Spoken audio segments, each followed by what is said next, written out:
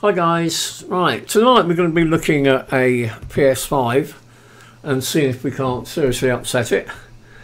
Um, so we'll just make sure it's all working. There we go. Whoops. Uh, what do you want? Yeah. Yeah, that's booting. Okay. Right, what I'm going to do now is close this down.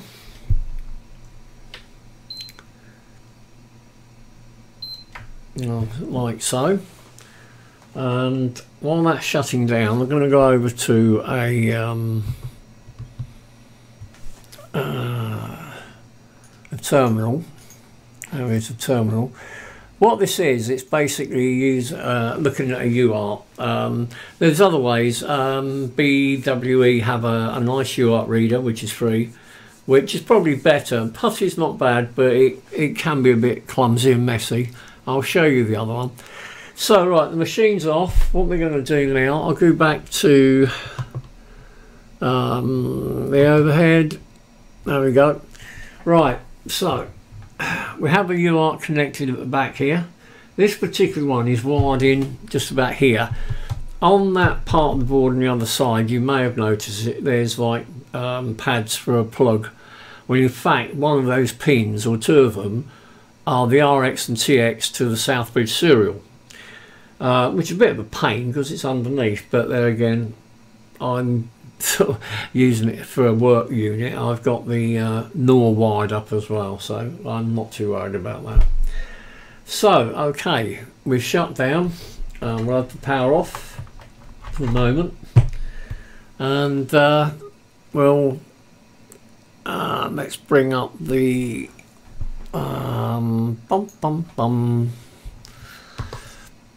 Right, there's the. Uh, uh, that's actually um, PuTTY, which is free. It's a not a bad little uh, bit of software. In fact, it's probably one of the most popular ones. Those uh, on there are actually what it says when it actually comes up working. It's just that I've been playing and haven't reset it. So what we'll do, I'm just going to put mains on it, nothing else. I'm not going to turn it on. Alright, power's on. And we should see it uh, acknowledge that, there we go, by saying uh, uh, 03A dollar dollar manual UART command ready colon 36 and it'll do that providing that the Southbridge is actually uh, running or it's okay basically and it's not being um, upset by anything other than like the NOR or anything, which it can do, I'll show you that. But then it still does tell you, it gives you an error. So that's a happy running NOR at Southbridge, and we know that the machine itself is fine, it's been running. So what I'm going to do now, I'm actually going to upset it completely by loading in uh, the 3 beat code. Now Let's just come back on the camera. There's quite a few people who use the T56 programmer and doing exactly what we're doing here. And I've had no end that come up and say they got problems where the programmer keeps coming up with loads of errors. Um, it just don't want to know basically. The lot of problems are with this. The fact that the, uh, the the flash is still on the board, of course, so when you're reading it, when you put the power onto your programmer, it's going to try and power the board. Well, A, it's not got enough power to do that, so it's going to possibly, if, it, if not destroy your program, it certainly ain't going to like it. Um, and the other problem is, if it does supply enough power, it can actually bring the uh, Southbridge to life, which being connected to the actual flash is, it just stops it from working. So the way around it is what we do, we actually uh, feed a separate supplying. So we don't power the board up. What we do, we plug it into the programmer. And what I've actually got is uh, the pin 8, which is the supply lead. Um, you can see it's dangling in the air here. And what I should do is I should put a 2.7 volt supply on it from the power supply. And I think it's only about 100 milliamps, but it I think it draws about 40 mils. If it draws any more than that, I'd seriously worry. Um, right, the, the first thing I did find when I'd done this, I had all these weird problems. I'm going to try and show you those problems, um, if I can, um, how to cure it. So, the, look. Okay, power supply's not turned on, so we'll pop this on. Okay, now, I'll put the power on, and we're drawing 40 mils, so that's pretty reasonable. So what we'll do, we'll go over to the uh, programmer software and we're going to try and read the NOR. Uh, I can tell you now it's, it's not going to be very happy about it, but there you go. So he's saying all those pins are incorrectly wired or whatever. Um, and this is quite a common problem. And what causes that is an earth loop. Um, your program is earthed. Uh, I've got a HDMI cable plugged into the computer which is carrying an earth and also a UART.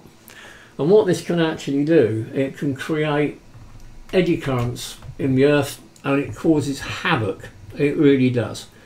So, right, I'm going to disconnect the UART. I've disconnected the HDMI. Uh, if I can show, uh, yep. There we go. HDMI is out uh, UART's disconnected here. So all we've got connected now is the programmer, the supply to the board, which is drawing about 39 milliamps, which is all good. The earth's on, that's all we need. So if this is going to be nice, it will, uh, it's, uh, it should now read. I was just looking across, I thought I'd left the HDMI plugged in. Right, okay, this is normally where things will go horribly wrong. No, they didn't at the moment.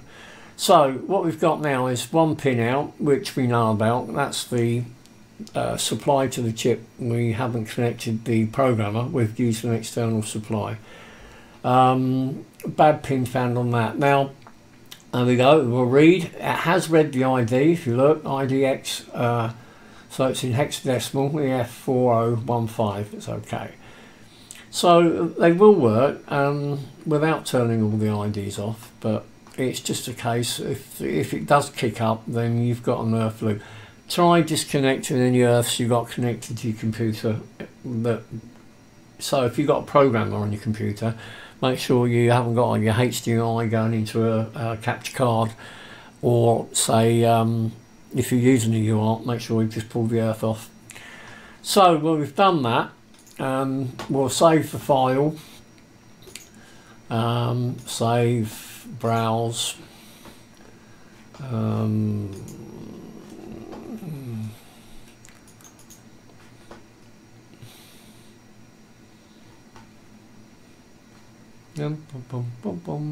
um, where's the shortcut? There we go. Um, we'll go to, come on. Uh, that's the serial number in this machine working. Right. Um, these are the working NORs that I've had with the machine. What I'm going to do is save this one. We got one, two, three, so I'll save this as four. And what I do, I then compare it to the ones that have been working. Um, but normally what I should do is take two readings so that we guarantee that we've got a good read. So I'll read it again.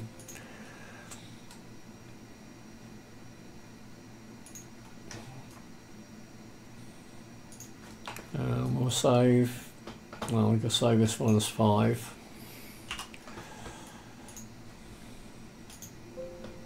Okay, now what we can do is we're going to nip into the folder.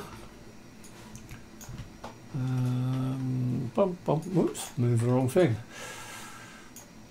Ah, there we go. Um, working NORs. Right, so down here we've got 4 and 5 with the two readings we've just done. What I should do is compare those first. So use uh, HXD, which is a quite a nice little hex editor. So I've opened up 4. I'm now going to drop 5 in as well. So if you look at the top here, you'll see that both in.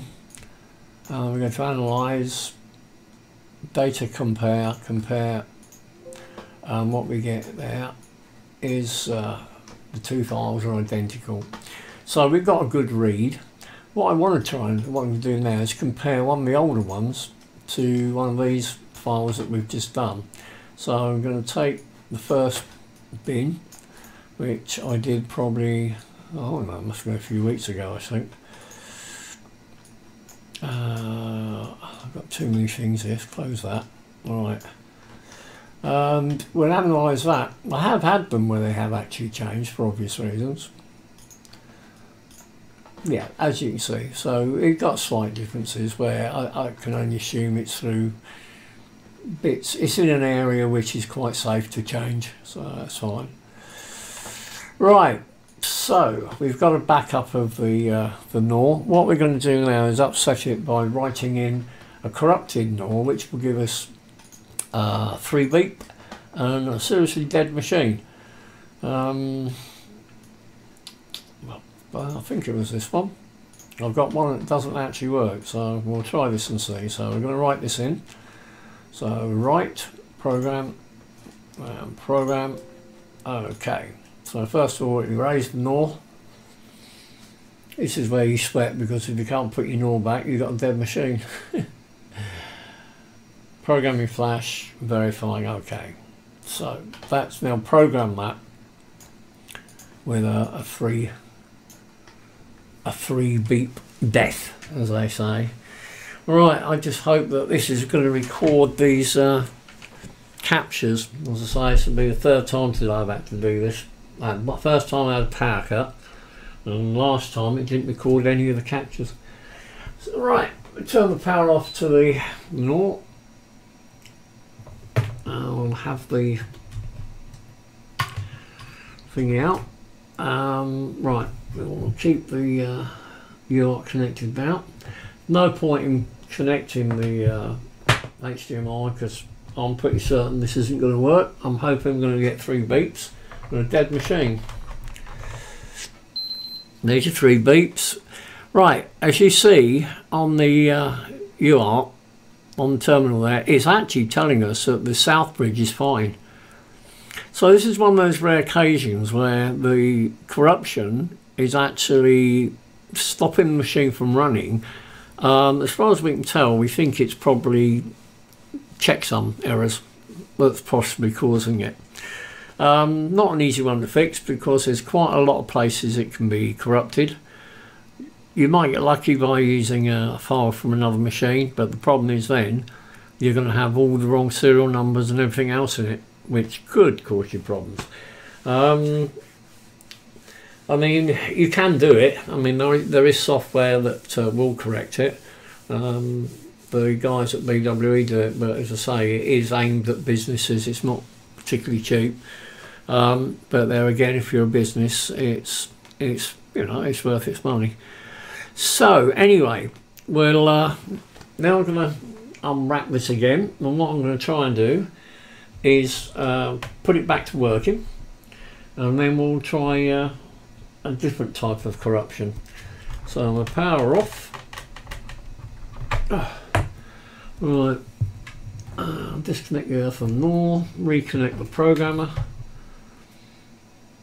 Uh, these leads are going to break someday because they're only single-stranded. Uh, uh, I think it's nickel copper wire.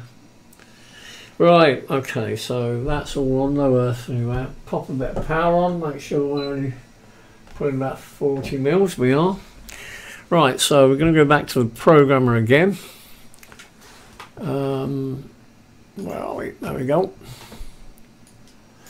Right, so this time we're going to pop back um,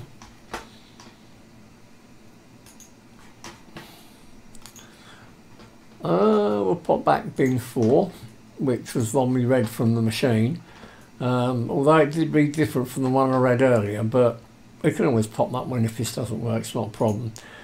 So, program. Okay, there we go. So this is writing back the file we took out before I broke it. okay, mm, not sure about that. I've got a feeling that's possibly not going to work. Um, I've seen this happen before, come back with that comment. But we'll try it. okay, so I'll put it back together. Okay, so disconnect the power to the NOR. Pop the NOR out. I'll pop the UART back on so we can capture anything that does come up. Um, yeah, we should what the UART. Um, just got to reset the uh, video input. Right, okay, so let's see if it uh, has killed it or whether let's see what comes up on the uh, UART. Well, that's telling us it's actually okay. So let's see. There we go. So we are actually running, um, as you can see. And we go to the PS5 if I can find the right button, and there we go. So that's basically the three beep horror. And then what we're going to do is another one which is even worse because it don't beep, it don't do nothing. And it's absolutely dead. Um, in fact, this is how this machine was when I got it. Oh, by the way, the, um, the stick of memory, somebody asked me about it earlier on here. It is a one terabyte and it's just a standard um, Western Digital Black. And it, uh, it does work quite well. Uh, probably not as quick as some of the memory, but um, try to show you.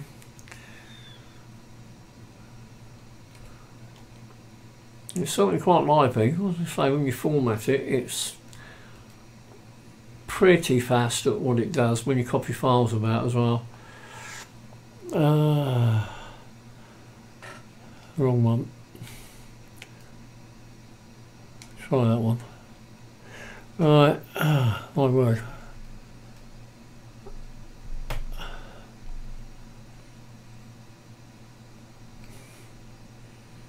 Uh, I can't actually see the screen from where I'm sitting. Hang on. Uh, lean over. Okay. Hang on a minute. I can't see what I'm doing. Bear with me.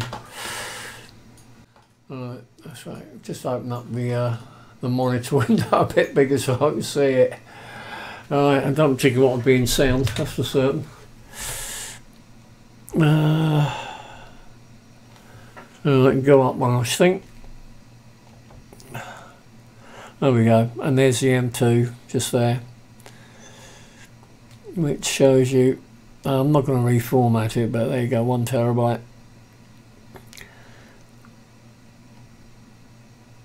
Uh, right, we're going to shut this down again. And this time we're going to Oh, come on, Steve Shank. Problem is I've had to revert back to an old, uh, I think it's Gen 6 computer. My Super Duper Gen 13 had a fit day before yesterday and power supply, crikey. Talk about bang. Sparks went at the back. It was, it was, really was quite impressive.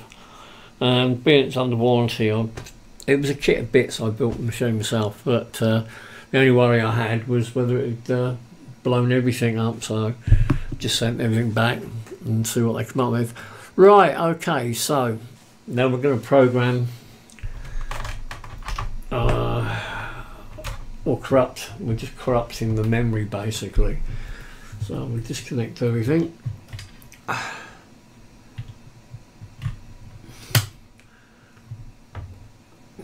And this time, hopefully, it would uh, still be dead.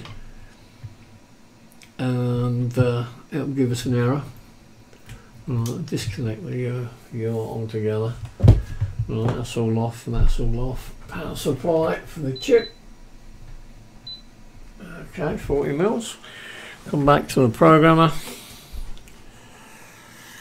Okay, so now what we want to do is loading a um, corrupt file, which I just happen to have one I prepared earlier, or somebody did. okay, and program. Um, there is actually quite a good another video online actually um, that um, BWE have done, which is very good if you take a look. Okay, so that has programmed that in. That should give us quite a nasty uh, problem. Well, not nasty, just dead. Okay, so we'll go back. and then we do it all over again. So we're going to disconnect the power supply, take the power off. It is a bit of a rigmarole, but if you don't, you just end up with all sorts of problems. Right, I'll pop the ground back on because I pulled it off.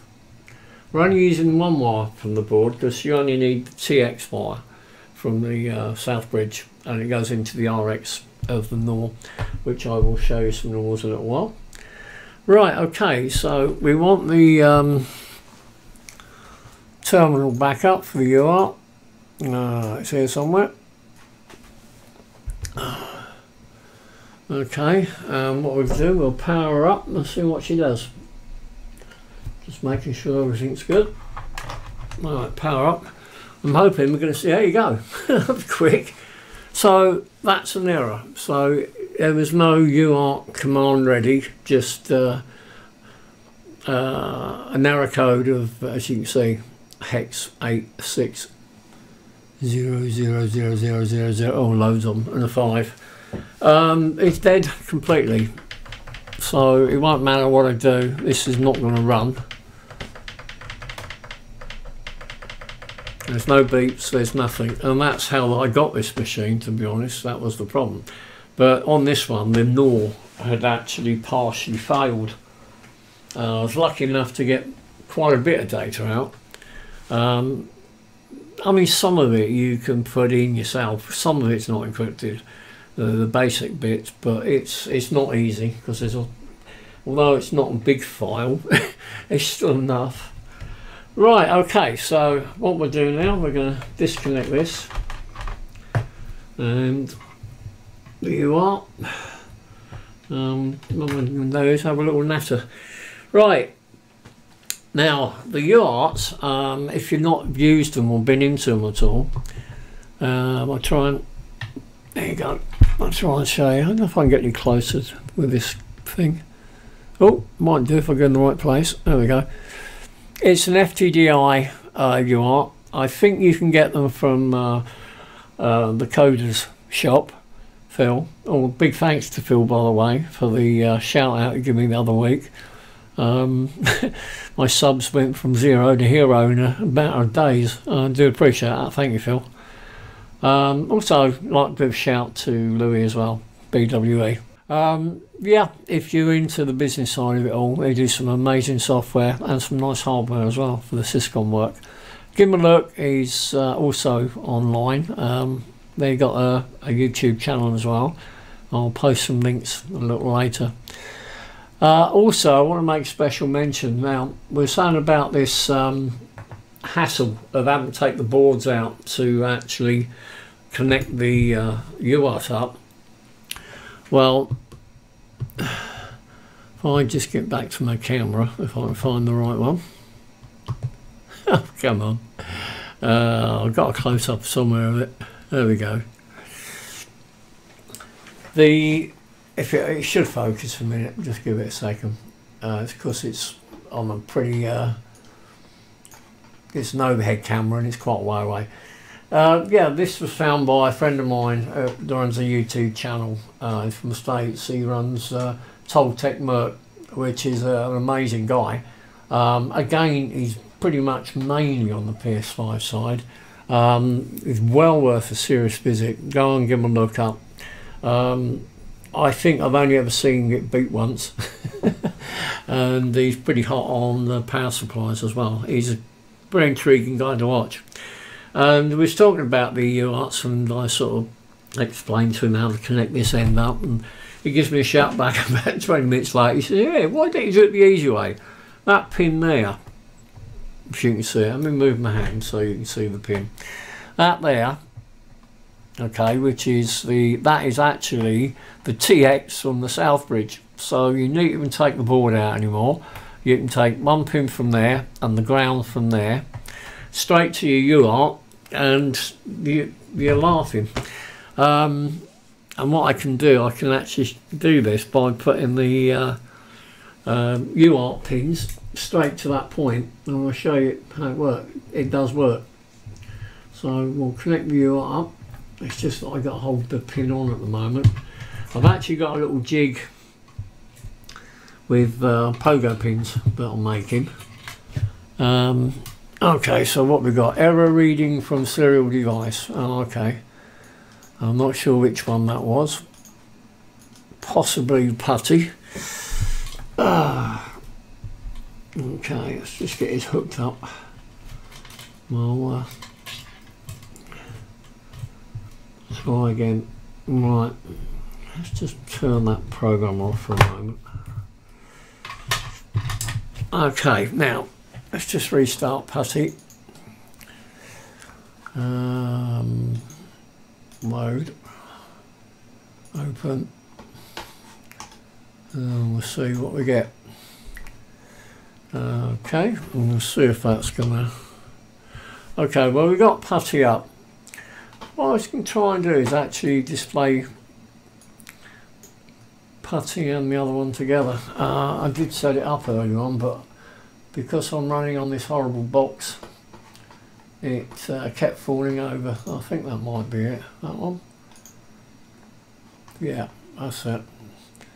Um, okay, we'll give it a go. You can see where the pins are so all I'm going to do is just literally hold the pin on from the uh, UART. Um, I'll try and pick. Do you like my toothbrush? oh, you can't see it. I'll show you in a minute. Uh, right. I've got a feeling the UART's possibly spat its dummy out. I don't know. I think something shorted out. Oh, I'll give it a go. Right, we're on the UART you can see it throwing some errors up. Right, okay, we should get that error code again. There you go. So there you go. If you want to do it, you haven't got to take it apart. All you need is a lead on that centre pin and the other one to ground. Um, and you can at least diagnose, you know, roughly where you're starting, especially if it's stone dead and it's not the power supply. It gives you a second avenue to go down. Right, so yeah, that's all great. So it makes life a lot easier. And what I was talking about toothbrush is that uh, I made a, there it is there, I made, printed a bracket so you can put the fan in out the board and I couldn't find the last bit of the post. There was three little brackets. So the toothbrush had to come and rescue me. Right, okay, so we need now to see if we can get this back to a working condition. So what we'll do, we'll disconnect the UART I'll just stick that out of the way so I don't short pins out again. I've already destroyed one NOR doing that. As I say, first thing I do with any machine, especially uh, Xboxes, the uh, Series X and the S, is dump the NOR data. Um, because the Xboxes, is, uh, as you know, the SSDs can be a problem, but the uh, XBSF, the Xbox OFS file system, the raw data, the hidden sector as they call it. We've now read that, know what's in it, and hopefully, um, if we can work out how it's being tied to the NOR, because it's encrypted, we might be able to get to the point where we can actually start repairing them. But unfortunately, uh, it's not that easy. Um, Right, don't need that, we want to program this, don't we? Okay, so let's get this back to working. Oh dear. Right, some juice. There we go. Uh, what do you want? What do you want? What do you want? That one. Uh, not really crazy, you've just been at it all day. Right, okay, so let's have a go at slinging in something that can make this thing breathe again. So we're going to load up, um, I think W4, we give this one a go, shall we? Okay, and prog. erase. You have to erase a flash before you can write to it. You don't have to erase the whole thing, you can just do blocks, but as the thing's that small, it's just as easy to do the whole thing. Right, so let's hope that uh, we're going to be back to some kind of normality in a working box. Merge. Right, okay. Let's see if it's going to breathe life into it this time. Now, okay, so we'll disconnect reduce, disconnect with normal. Uh, we will connect the what I won't hold the pin on because it's too difficult. I will actually uh, hopefully have the uh, reader, the clip-on one working or finished tomorrow. I designed it all out, machined it out all with a mill. It's quite, it's not too tight. It's quite, you know, it's a fair bit of tolerance. What it does is two pins that locate onto the board, and you got uh, some pogo pins which pushed down. I put all all the uh, nine in. Well, it's actually ten, just in case we can find something on the other on the other post, if you like. Right. Okay. Um, um, that's not touching or anything. Power, turn off. Forgive me talking to myself. That's what comes with old age. Right. Okay. So. We'll, power on, see what we get come up. Hopefully it'll be a telling us it's okay. Yep, that's good news. So now we'll go over to that one. Oh, it sounds promising. I've been trying to find a BLOD that uh, that could be caused by the NOR, but so far I haven't found one. There we go. So we're back. Right, what I got, uh, I'll give you a image you can capture for the connections. Uh, that's going to be that's fine. There you go. Um, now I know it's fine for the 020 and the 010 boards. I haven't tried an 030. Uh, just check that before you do it, if you're not sure, measure the ground pin, make sure it is ground and measure the voltage on the South Bridge serial uh, TX output pin and just make sure it isn't above 3.3 volt. It, if it is, then I'd be very wary. I wouldn't do it. Do it the other way. I'll show you the other way. Um, uh, let me grab the board. Another one. Uh, I'll try to show you where it is.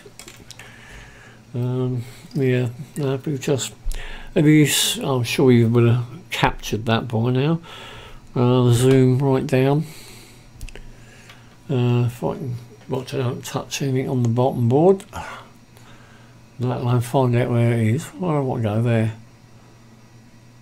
Uh, come on, focus. Yeah, not going to focus, is it? Oh, hang on, there we go. It's that little header here. Anyway, what it is, you've got, um, uh, believe it's the second and third pin, third pin's the TX1 use and ground.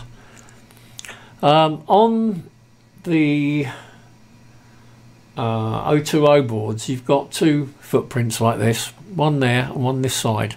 It's the one this side, but what you'll find um, is the resistors are missing to make it work from this end. But now we've found out we've got the, uh, oh, turn that over, which is the same. Where are we? Chasing the camera, there you go, there's the test points on this one. So you don't have to worry about that other side now. Right, well I think that's about it. Um, I can't think if I've missed anything. The UARTs, I think I did say, Coda, uh, I think he has them or he's getting them at his shop. Um, I'll put some links into that.